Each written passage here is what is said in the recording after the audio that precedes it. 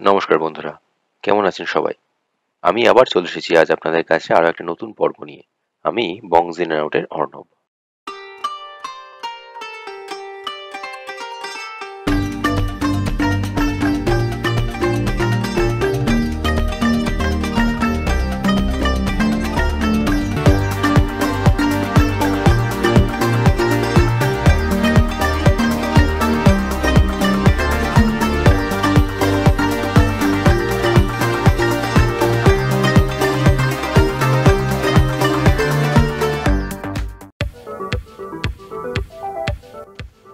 আজকের পর্ব হবে আমাদের মায়ামি ভ্রমণের শেষ পর্ব।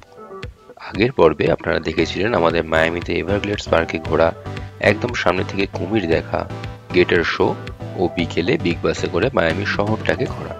এর সাথে অবশ্যই ছিল উইনউড ওয়ালস এরিয়াটা ঘুরে দেখা। আগের পর্ব সহ আমার দু হাজার একুশের ইউএসএ ঘোরার সবকটি পর্ব দেখতে চাইলে উপরের আই বাটন বা নিচের ডিসক্রিপশন থেকে দেখতে পারেন। ইউএসএ ভ্রমণ নিয়ে আমাদের ভিডিওগুলি উপরের প্লেলিস্টেও দিয়ে দিলাম। এখান থেকে সবকটি পর্ব চাইলে একের পর এক দেখে নিতে পারেন। সেদিন বিকেলে বিগ বাসে ঘোরার পরে সন্ধ্যের দিকে আমরা চলে যাই বেসাইড মার্কেট প্লেসে যেটা কিনা মায়ামির একটি অন্যতম প্রধান বিনোদন কেন্দ্র। আমাদের উদ্দেশ্য ছিল ইভিনিং ক্রুজ রাইড করা, অর্থাৎ বেশ কিছুক্ষণের জন্য মায়ামির সমুদ্রতে ক্রুজ করে ঘোরা। টিকিট নেওয়া হয়ে গেছে টিকিট দেখি। টিকিট নেওয়া হয়ে গেছে, এবার আমরা সেদিকে এগোচ্ছি আস্তে আস্তে। এই হচ্ছে বে সাইড মার্কেট প্লেস আমরা চলে এসেছি ওয়েট করছি এখানে। এই যে লাইন রয়েছে, আমাদের সামনে যে বোর্ডটা আছে, সেই বোর্ডে করে আমাদের নেওয়া হবে। পার্টির পারফরমেন্স হচ্ছে জমজমাট এরিয়া এখানে একটা স্পেশাল ক্রুজ রাইড আছে, যেখানে আপনাকে দেড় ঘন্টায় মায়ামি বন্দর ও তার সাথে বিখ্যাত বিখ্যাত ব্যক্তিত্বদের বাড়ি দেখানো হয়, যারা মায়ামিতে সমুদ্রের তীরে নিজেদের বিচ হাউস বা ভিলা বানিয়ে রেখেছেন। এদের মধ্যে কিছু উল্লেখযোগ্য নাম হচ্ছে জ্যাকি চেন রিকি মার্টিন প্রমুখ। আইল্যান্ড লেডি, এই বোটটা এখন আমরা ঘুরবো, ক্রুজ করব কিছুক্ষণের জন্য। সন্ধে নেমে গেছে মায়ামিতে বে সাইড মার্কেট প্লেস ঝলমল করে উঠেছে। আমরা লাইনে দাঁড়িয়ে আছি, এগোচ্ছে আস্তে আস্তে। উঠে গেছি বোটে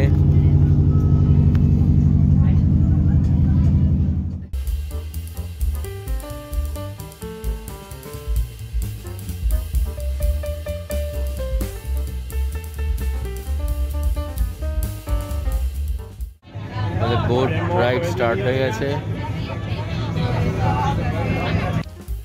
নির্দিষ্ট সিট থাকলেও যেই বোটটা চালু হলো, আমরা সবাই চলে গেছিলাম ব্যালকনিতে ওখান থেকে ভিউটা এনজয় করার জন্য। সকাল থেকে শুরু করে দিনের বিভিন্ন সময়ে ক্রুজের টাইমিংটা থাকলেও আমরা গেছিলাম সন্ধ্যে ছটার সময়। আর সেটা আমাদের লাভই হয়েছিল। আমাদের বোট থেকে রাতের মায়ামিকে দেখে অভিভূত, মোহিত হয়ে গেছিলাম আমরা।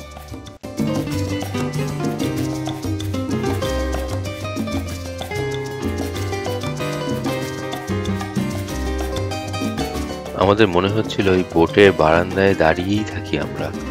দেখতে থাকি অপরূপ সৌন্দর্য মায়ামির। মিলিনিয়ার বোট ক্রুজ চলছে।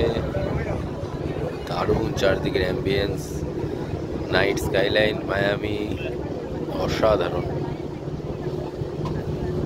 প্রথমেই দেখে নিলাম পপ সেন্সেশন রিকি মার্টিনের ভিলা এরপর একে একে আরও অনেকের এরকম ভিলা বা বিচ হাউস দেখতে দেখতে আমরা চললাম।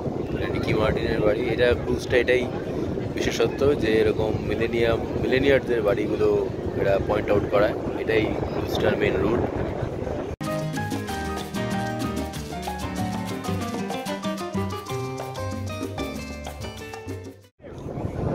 আমরা লাস্ট দেখলাম জ্যাকি চ্যানের বাড়ি।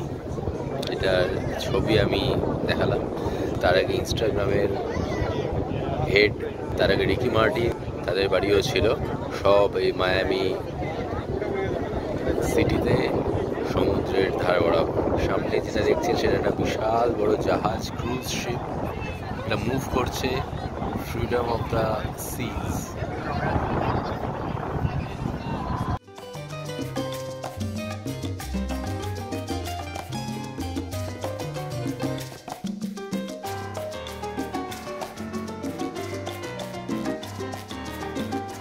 দিনের বেলা আমরা মায়ামির যে রূপ দেখেছি রাস্তায় হাঁটতে হাঁটতে অথবা সমুদ্র থেকে এরকম বোটে করে রাত্রেবেলা মায়ামির রূপ দেখা কিন্তু একটা অনবদ্য ব্যাপার। আর আমরা খুব বড় একটা মিস করতাম যদি এই ক্রুজে না আসতাম। এই দু ঘণ্টা, দেড় দু ঘণ্টার আমাদের যে ক্রুজ হয়েছে, সেটা আমাদের অন্যতম একটা বড় প্রাপ্তি এই পুরো মায়ামি ট্রিপে আমাদের যে গাইড ছিলেন, তিনি ইংলিশ স্প্যানিশ এই দুই ভাষাতেই আমাদের গাইড করছিলেন যে কোথায় কোথায় কাদের কাদের বাড়ি রয়েছে। সেদিকে তাও যদিও কিছুটা বুঝছিলাম কিন্তু মাঝে মাঝে মনে হচ্ছিল ওই সব কিছু ভুলে গিয়ে শুধু এই বোট রাইডটা এনজয় করি আমরা।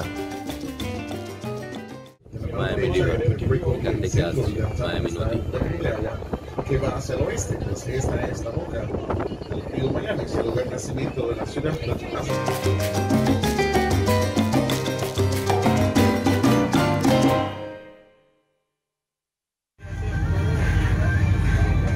আমাদের ক্রুজ এখন শেষের পথে। আমরা এখন ফিরছি। এটা Miami skyline third tallest in USA after New York and Chicago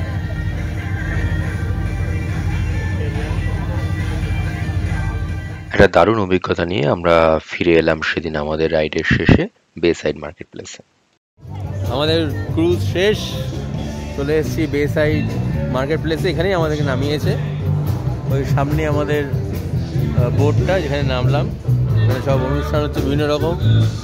গান নাচা গানা সব কিছু নাচ হচ্ছে না এখন শুধু গান।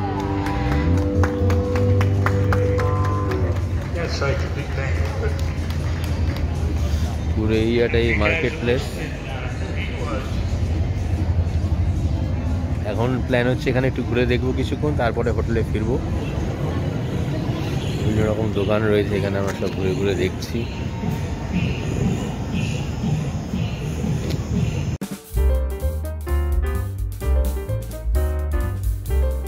রাতের ডাউনটাউন মায়ামিতে বেসাইড মার্কেট প্লেস একটা অতি গুরুত্বপূর্ণ জায়গা। তার কারণ, এখানে আপনি আসলে বিভিন্ন রকম শপিং খাওয়া দাওয়া, বিভিন্ন রকম রাইড যেরকম আমরা রাইড নিলাম সেরকম, এরকম অনেক কিছু অপশান পাবেন আর আপনার সময় আরামসে কেটে যাবে।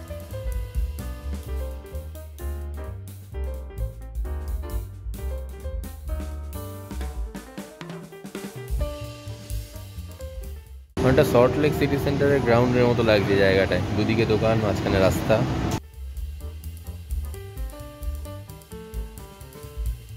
কিছুক্ষণ সময় কাটিয়ে চলে এলাম আমাদের হোটেলে। এবার দেখে নিন আমাদের এই নতুন হোটেলের রুমটা। এটা হচ্ছে আমাদের মায়ামির সেকেন্ড হোটেলের সামনেটা। এখানে বেশ সুন্দর চেয়ার টেবিল পাতা আছে। আর এই হচ্ছে আমাদের রুম গ্রাউন্ড ফ্লোরের রুম এই রুম দিয়ে সোজা ঢুকে এই বাদিকে এটা টেবিল মতো আছে এখানে টিভি আছে। কিছু আর্ট ডেকোরেশন করা আছে। বেডটা খুবই বড় king size bed table lamp drawer microwave fridge সব কিছু আছে। এসি রয়েছে। এর আগেরগুলো সবকটাতে এসি বা হিটার মানে একটু পুরোনো মডেলগুলো ছিল। এটাতে দেখছি দায়কিনের এসি দেওয়া আছে। এই হচ্ছে এসির রিমোট আর এখানে হ্যাঙ্গার দেওয়া আছে জামা কাপড় ধরানোর জন্য। এটা হচ্ছে বাথরুম কোমোড সিং, আয়না, সব আছে। এবার এটাতে কিন্তু বাথটাব নেই। এটাতে হচ্ছে নর্মালি এনক্লোজারের মতো করা আছে। এখানে শাওয়ার আছে। আর সেই, সেখানে স্নান করার জায়গা। এখানে টাওয়েল টাওয়েল সব দিয়ে দিয়েছে। এখানেও টাওয়েল আছে। টয়লেটের একটা দেখছি না, শুধু একটাই বডি ওয়াশ রয়েছে এখানে। আদারওয়াইজ সেরকম আর কিছু নেই। এটাতে তাক আছে। লাইটিং ভালোই আছে। দুটো লাইট দেওয়া আছে এটুকু জায়গার জন্য। এই চেয়ারটা কিন্তু বেশ আরামদায়ক। ইজি চেয়ারের মতো, বসলেই আরাম।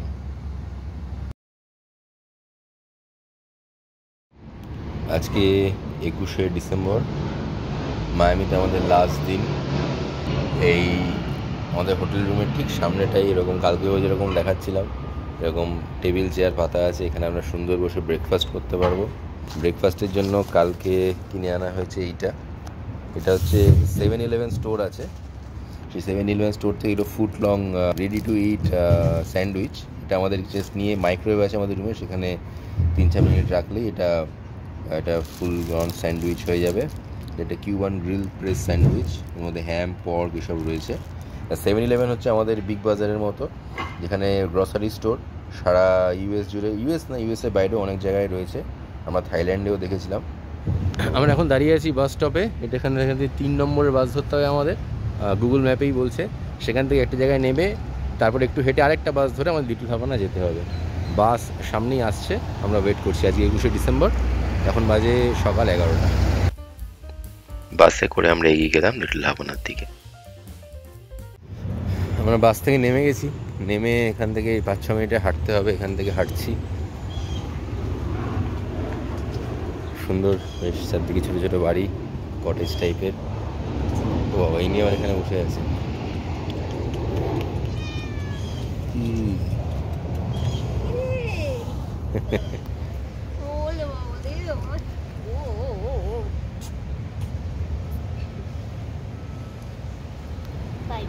এগোচ্ছি আস্তে আস্তে।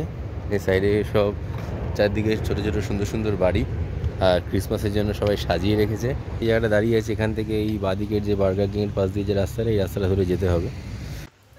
লিটল হাভানা মায়ামির একটি অতি পরিচিত জায়গা। উনিশশো ষাটের দশকে ফিদেল কাস্ত্রো এবং তৎকালীন মিলিটারি ডিক্টেটর বাতিস্তার সাথে রক্তক্ষয়ী সংগ্রামের সময় প্রচুর কিউবান মানুষ এই অঞ্চলে, অর্থাৎ এই মায়ামি তথা লিটল হাভানাতে চলে আসে। তখন থেকে এখানকার রমরমা। এখানকার বেশিরভাগ মানুষই কিউবান বা তাদেরই উত্তরাধিকারী। আমরা পৌঁছে গেছি লিটল হাভানাতে কালকে এখান থেকেই গেছিল আমাদের বিগ বাসটা আমরা উপর থেকে দেখেছিলাম বাসের উপরে বসে। এবারে এলাম আমরা নিচে। নামলাম নেমে একটু ঘুরছি। জায়গাটা এটা হচ্ছে ডমিনো পার্ক ডমিনো পার্কটি লোকাল মানুষদের কাছে একটি অবসর যাপনের স্থান। ডমিনোজ ও দাবা খেলার একটা আদর্শ জায়গা। তার সাথে অবশ্যই থাকে কিউবান কফি এখানে একটা ক্রিসমাস ট্রি সাজানো আছে। আর ওইদিকে যে আইসক্রিম পার্লারটা দেখতে পাচ্ছেন এই মাঝখানে ওইটা। ওইটা হচ্ছে খুব ফেমাস একটা আইসক্রিম পার্লার পুরো এরিয়া এবার আমরা ঘুরবো।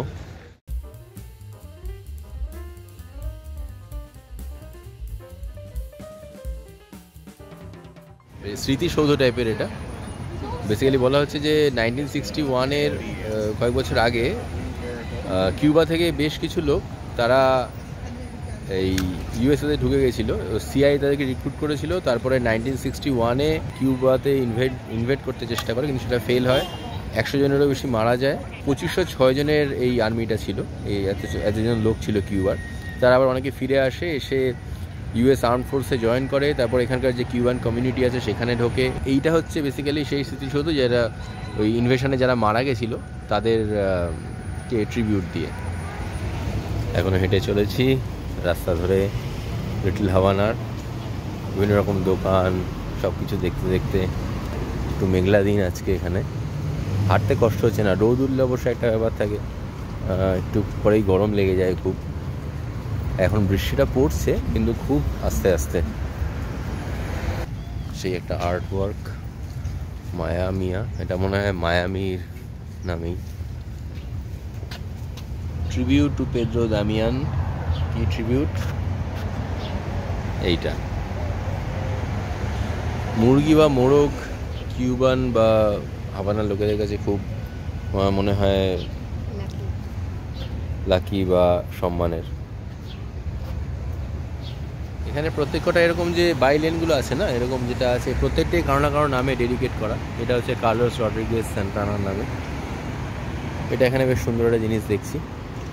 যে দোকানের সামনে এলাম কিউবান মোবাইল জুয়েলারি তারপরে ডেন্টাল হসপিটাল হসপিটাল না ডেন্টাল ডেন্টিস্টের চেম্বার, আর এখানে ইনি। ও, পিছনেও আরেকজন আছে। ডেকোরেশন চলছে। এটা একটা পাশে ওই যে দূরে ওইখানটা একটা আবার সিগারের দোকান। কিউবান সিগার হাওয়ানা চুরুট খুব নাম করা। অনেকেই জানেন আপনারা। রাস্তার পাশেই একটা মার্কেট মতো আছে। বিভিন্ন রকম জামা কাপড় রাখা আছে ওটা আমরা একটু ঘুরে ঘুরে দেখছি। আর কিছুটা গিয়ে রাস্তাটা ক্রস করে আমরা ফিরতি পথে হাঁটা লাগালাম। এখন আবার যেখান থেকে হাঁটা শুরু করেছিলাম সেদিকেই ব্যাক করছি রাস্তার ডান দিক ধরে। এটা হচ্ছে সামনে যেটা দেখতে পাচ্ছেন ওই যে দূরে ওইটা এটা হচ্ছে ডলার ট্রি এটা একটা চেন অফ শপস ইউএসএতে আছে ম্যাক্সিমাম জিনিসপত্র এখানে এক ডলার থেকে এক ডলার পঁচিশ সেন্টের মধ্যে পাওয়া যায়। অনেক রকম জিনিস থাকে। অফিস স্টেশনারিজ থেকে শুরু করে household items gift items সব কিছু আর একটা কালারফুল দোকানের সামনে চলে এসেছি। নামটা পড়ার চেষ্টা করছি না। আপনারা যারা জানেন তারা একটু বলতে পারবেন। এটা একটা রেস্টুরেন্ট কাম বার বেশ সুন্দর ডেকোরেট করা। বৃষ্টি এখন কমে গেছে, বৃষ্টি নেই। আস্তে আস্তে হাঁটছি। আজকে আমাদের শেষ দিন মায়ামিতে। এরপরে আমাদের প্ল্যান হচ্ছে এখান থেকে হোটেল যাব। হোটেলে আমাদের ব্যাগপত্র রাখা আছে, সেগুলো নিয়ে তারপরে সেখান থেকে এয়ারপোর্ট রাস্তার পাশেই হাঁটতে হাঁটতে ঢুকে গেলাম এখানে। যেমন সম্প্রিয়া বলল, এটা হচ্ছে একটা পিকচার স্পট আমরা বেশ কিছু ছবি তুললাম এখানে এসে।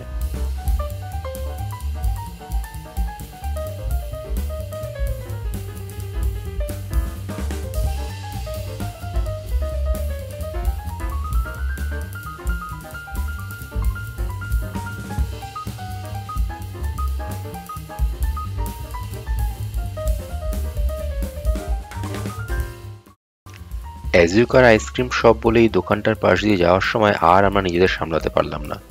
অনেকক্ষণ হাঁটাহাঁটি করে একটু খিদেও পেয়েছিল, তাই ঢুকে গেলাম এই শপটার মধ্যে, চেখে দেখতে কিছু আইসক্রিমের ফ্লেভার এই সেই ফেমাস আইসক্রিমের দোকান আমরা ঢুকেছি, এখানে নেওয়া হচ্ছে বিভিন্ন রকম আইসক্রিম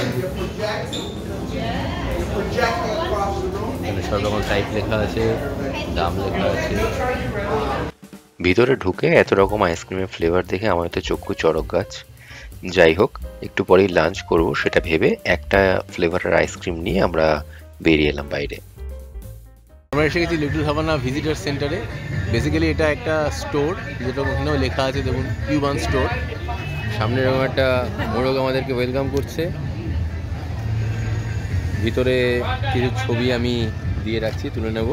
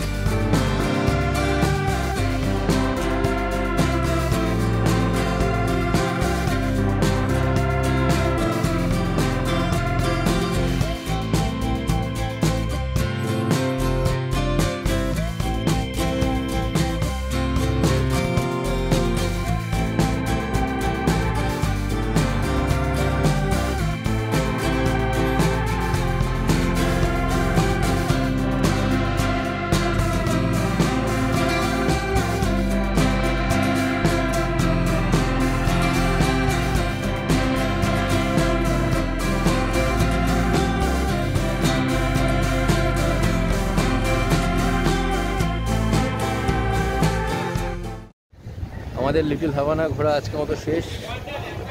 এবারে আমাদের বাস ধরতে হবে, বাস ধরে হোটেলে যেতে হবে, সেখান থেকে ব্যাগপত্র নিয়ে যেতে হবে এয়ারপোর্টে। লিটল হাভানা শেষ ঘোরা শেষ মানে মায়ামি ঘোরা শেষ আমাদের। দারুণ কাটালাম লাস্ট চার পাঁচটা দিন আশা করি আপনাদেরও আমাদের ভিডিওগুলো ভালো লেগেছে। এত সুন্দর জায়গা আসলে এত কম সময় এক্সপ্লোর করাটাও একটু চাপের ব্যাপার, ওই জন্য আমরা যতটা পেরেছি এক্সপ্লোর করার চেষ্টা করেছি।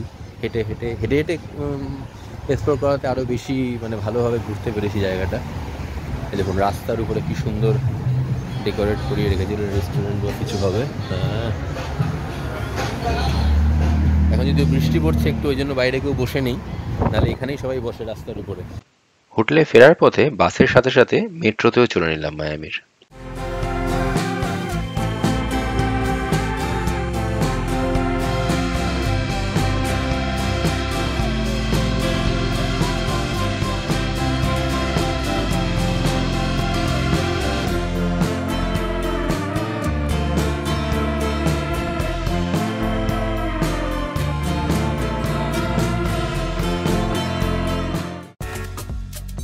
একটু বাদেই চলে এলাম মায়ামি এয়ারপোর্টে কিছুক্ষণ অপেক্ষার পরেই আমাদের ফ্লাইট চলে এলো। তাতে করে আমরা ফিরে এলাম আমাদের আমেরিকার বাড়িতে। গত পাঁচ দিনে আমাদের ঘোরা অরল্যান্ডো আর মায়ামির প্রচুর অভিজ্ঞতা আর প্রচুর স্মৃতি নিয়ে ফিরে এলাম আমরা।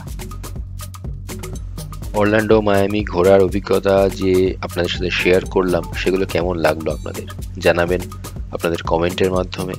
আর আমার যে দু হাজার একুশের ইউএসএ ঘোরার যে বাকি পর্বগুলো। সেগুলো কেমন লাগল? আশা করি সেগুলো আমাদেরকে জানাবেন। আপনাদের কমেন্ট আমাদের আরও এগোতে সাহায্য করবে। এরপরে আবার ফিরে আসব নতুন একটা জায়গার ভিডিও নিয়ে। তবে কোন জায়গা সেটা না হয় পরের দিনের জন্য তোলা থাক। ততদিনের জন্য ভালো থাকবেন, ভালো রাখবেন, আর সুস্থ থাকবেন। Till then tata bye bye